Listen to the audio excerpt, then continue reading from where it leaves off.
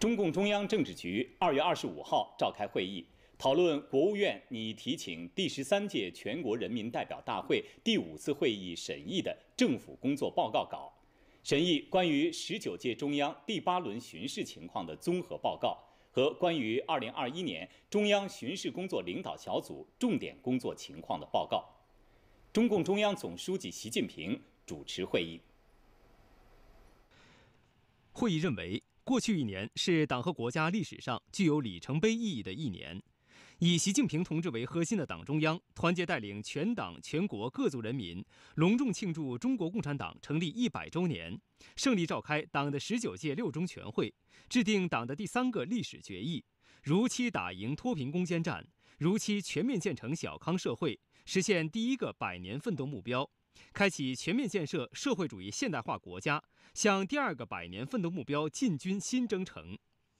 一年来，面对复杂严峻的国内外形势和诸多风险挑战，全国上下共同努力，统筹疫情防控和经济社会发展，全年主要目标任务较好完成，“十四五”实现良好开局，我国发展又取得新的重大成就。会议强调。今年将召开中国共产党第二十次全国代表大会，是党和国家事业发展进程中十分重要的一年。做好政府工作，要在以习近平同志为核心的党中央坚强领导下，以习近平新时代中国特色社会主义思想为指导，全面贯彻落实党的十九大和十九届历次全会精神，弘扬伟大建党精神，坚持稳中求进工作总基调。完整、准确、全面贯彻新发展理念，加快构建新发展格局，全面深化改革开放，坚持创新驱动发展，推动高质量发展，坚持以供给侧结构性改革为主线，统筹疫情防控和经济社会发展，统筹发展和安全，继续做好六稳六保工作，持续改善民生，着力稳定宏观经济大盘，保持经济运行在合理区间。保持社会大局稳定，迎接党的二十大胜利召开。会议指出，今年工作要坚持稳字当头、稳中求进，要加大宏观政策实施力度，稳定经济大盘，坚定不移深化改革，激发市场主体活力，深入实施创新驱动发展战略，坚定实施扩大内需战略，推进区域协调发展和新型城镇化，大力抓好农业生产，促进乡村全面振兴。扩大高水平对外开放，推动外贸外资平稳发展；持续改善生态环境，推动绿色低碳发展；防范化解金融风险，守住不发生系统性风险的底线；切实保障和改善民生，加强和创新社会治理；加强政府自身建设，力戒形式主义、官僚主义，努力完成全年经济社会发展目标任务。会议指出，十九届中央第八轮巡视成效明显。发挥了政治监督作用。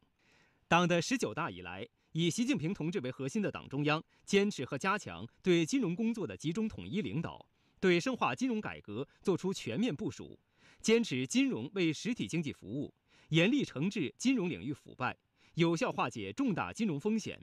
我国金融业发展取得新的成效。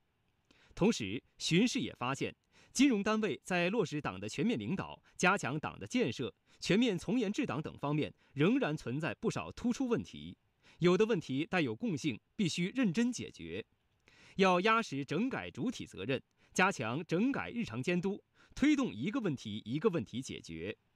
会议强调，要强化党中央对金融工作的集中统一领导，坚定不移走好中国特色金融发展之路。要强化金融风险防控。坚决维护金融稳定大局，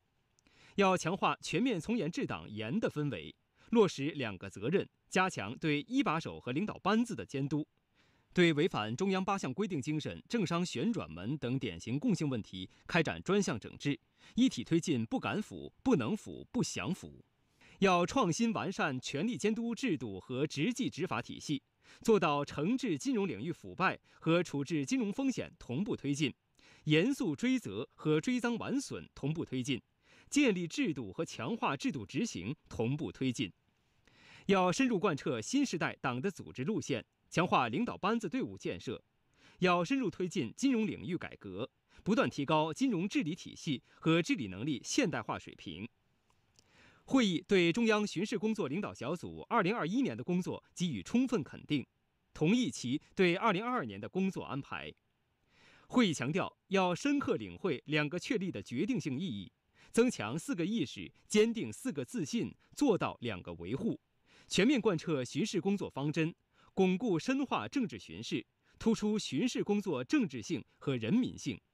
要突出问题导向，坚持党内监督无禁区。扎实完成巡视全覆盖任务，要认真贯彻关于加强巡视整改和成果运用的意见，完善整改机制，强化整改责任落实。要持续深化巡视巡查上下联动工作格局，充分发挥巡视综合监督作用。要认真总结十九届巡视工作，不断深化规律认识，把巡视工作做得更加科学有效。会议还研究了其他事项。